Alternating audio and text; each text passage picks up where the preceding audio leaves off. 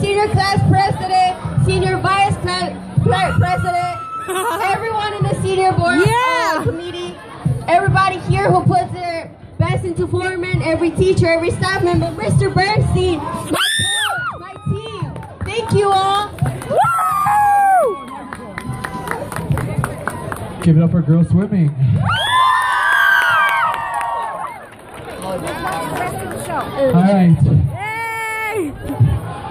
Are you ready?